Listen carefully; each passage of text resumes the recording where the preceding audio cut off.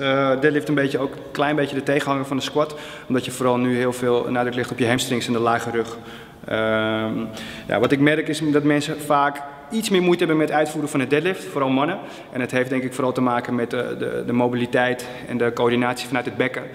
Uh, dus ik ga je uitleggen waar je op moet letten en hoe je uh, daar wellicht wat aan kan doen. Het zou zonde zijn als je een deadlift en een squat gaat doen en dat je ja, geen mobiliteit in je lage rug en je bekken hebt, maar je gaat hem toch uitvoeren. Ga je uiteindelijk toch een beetje compenseren en dan kan je wellicht wat lichamelijke klachten veroorzaken.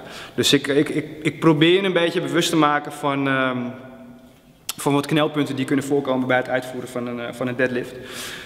Nou, ik heb in ieder geval een stang, vrij lichte, ja, daar begin ik altijd mee. Nou, net als met een squat gaan je voeten 12 uur. Deze hou je gewoon een beetje breed vast. Dusdanig breed dat, dat mijn knieën ertussen kunnen vallen. Oké, en wat ik doe, ik hou alleen de stang vast. En vervolgens blijven mijn armen uh, als het ware verlamd hangen. Dus ik ga de stang niet naar voren brengen. Ik ga eigenlijk niks met de stang doen. Het enige wat ik, wat ik, wat ik doe met de stang is dat ik gewoon met mijn lichaam mee naar beneden beweegt en weer omhoog. Ja? Mijn onderlichaam doet eigenlijk het werk. Dus een veelgemaakte fout dat ik veel mensen zie maken is dat die stang dat ze dit gaan doen. Laten we gewoon lekker verticaal naar beneden gaan. Rol hem over je benen heen en ga weer staan. Ja? Nou, je ziet, ik weet niet of je dat kan zien, mijn shirt zit er misschien een beetje voor, maar dat in het hele traject mijn lage rug hol blijft. Ja? Hol, hol en terug. Ja? Nou, dat is waar het bij veel mensen fout gaat. Je moet een hele goede mobiliteit hebben vanuit je bekken. Je moet je bekken in ieder geval voorover kunnen kantelen, achterover kunnen kantelen. Nou, uh, helaas vinden uh, sommige mannen vinden dat moeilijk. Dus wat ik dan aanleer is om in ieder geval gewoon je bekken te pakken en gewoon een paar keer een beetje met je handen dat, uh, dat principe na te doen.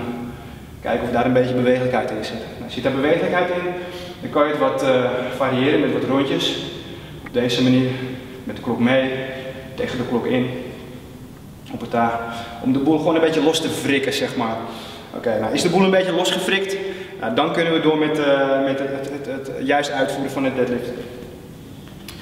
Nou, nogmaals, wat je doet, je gaat eigenlijk eerst met je kont naar achter en dan kantel je je bekken naar voren. Dus je maakt als het ware een holle rug.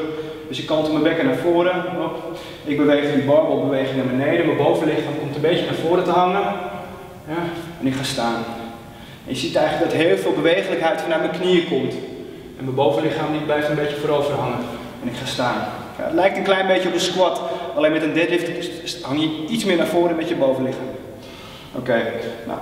Als dit lastig is, uh, en dat zie ik soms wel, dat de mensen daar toch moeite mee hebben. Dan gebruik ik vaak een, vaak kettlebell en dan merk ik toch dat het wat beter gaat. Uh, dus wat je doet, je laat de kettlebell tussen je benen hangen, gaat recht naar beneden, je laat eigenlijk de, beweging, uh, de kettlebell de beweging leiden. mijn knieën staan weer recht boven mijn tenen, dus je gaat niet naar binnen. Je, als, het ware, als je naar een spiegel kijkt, moeten die knieën constant boven je tenen of boven je voeten staan, als het ware in een verticale lijn doorzakken. 1, 2. 1, 2. Nou, je zal waarschijnlijk ook wat rek voelen in je hamstrings, dat is goed. Je hebt ook nog zoiets dat heet een, stiff deadlift, maar daar ga ik nu eventjes niet op in. Ja, het is gewoon eerst belangrijk dat je een, uh, dat je een normale goede deadlift kan uitvoeren. Uh, wees niet bang dat je wat activiteit voelt vanuit je lage rug. Ik heb wel eens uh, klanten die zeggen van ik voel mijn rug, ik voel mijn rug. En sommige mensen vinden dat een beetje, vinden dat een beetje eng. Maar uh, dat is heel normaal, want je gebruikt je rugspieren namelijk bij het omhoog komen. Ja, je lange rugspier die is heel actief bij het jezelf laten staan. Dus zolang je geen pijn voelt, spierverzuring is goed, weet je, een zuur moe gevoel, prima, weet je. Alleen is, gaat het pijn doen, mensen met lage rugklachten denken van hé, hey, dit is een beetje herkenbare pijn.